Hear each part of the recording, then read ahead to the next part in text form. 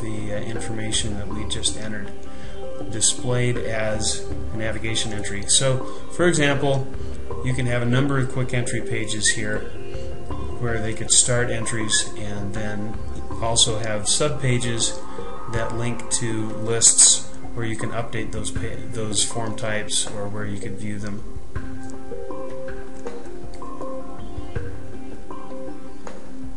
So using that you can nest the home page is to organize any number of uh, organize any number of quick entry solutions and as you can see here the navigation works takes us straight to the search page that we were just looking at.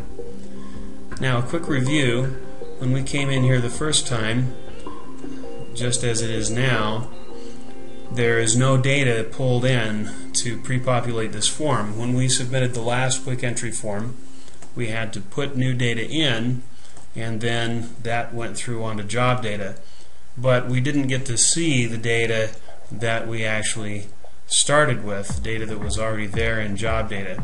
So we're going to add, again using GT eForms technology, we're going to add the functionality to pre-populate that form. Here we're going to go in and, and do some PeopleCode work.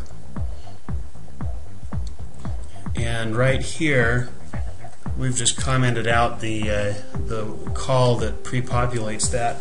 But again, this is a delivered method that it's a, a one-line method call to pre-populate an, an, entire form. And in this case, it's even a, uh, a hierarchical form where we have uh, record 0 and uh, level 1 records.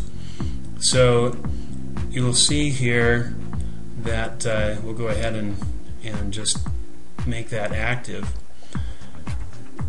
All we're doing is we're calling our delivered method and we're passing in a row set object that describes which records we're going to pull the data from to populate this page or to pre-populate it. We're just pulling in from the job record and then we're pulling in any related rows from Job Earns Dist. So that's how we're going to get the information out of the database. All of the comparison be, to match up the fields, everything that uh, that gets done to make sure that we're we're populating that appropriately, matching up with the right key fields from the component.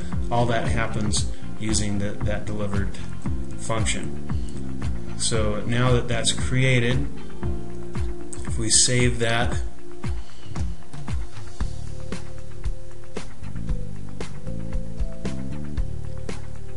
back to, oh, we need to do one more thing.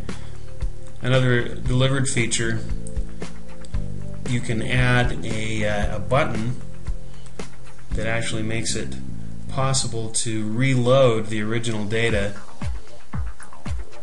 All we need to do is put the right button on here, it'll call the right PeopleCode, and it'll actually reload the exist reload the uh, the data from the database and overwrite what's been loaded onto the page.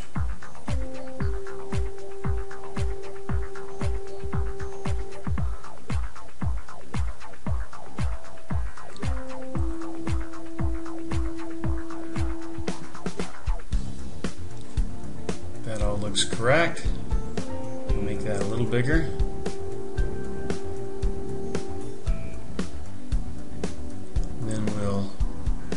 Position it, save our page,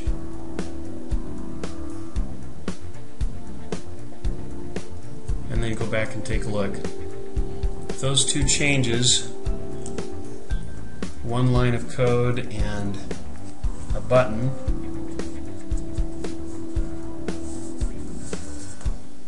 we can actually come back in and have complete pre-population of this page.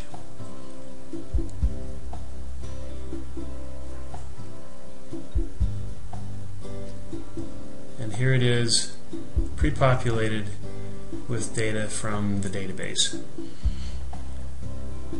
Not only can we pre-populate, but we can also pre-populate as of a given date. So for example, the effective date here is February 11th, 2009.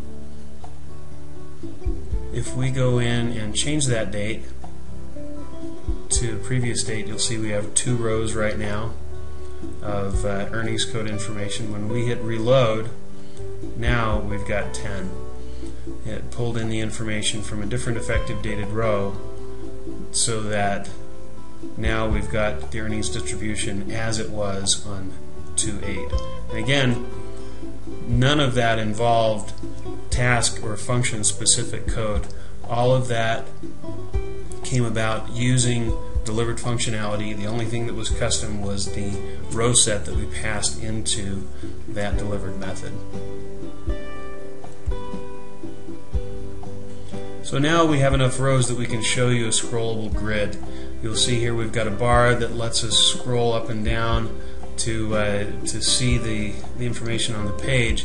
What that does is allows you to set aside only a certain amount of the page for use in the scroll bar, but still allows you to, to load up all of the data so that you have access to it. When you have a long grid in pre-8.5 PeopleTools, it uh, it'll just push the page farther and farther down. This actually lets you get everything on the page, access it in one place on the page. So that's one benefit, additional benefit of it, 8.5 scrollable grid. The other benefit is that, uh, and actually this you can do without having a scrollable grid, and that's a zoom grid. So at this point, I can only see my five rows at a time, and I can scroll to see the other five out of the ten that I've loaded up.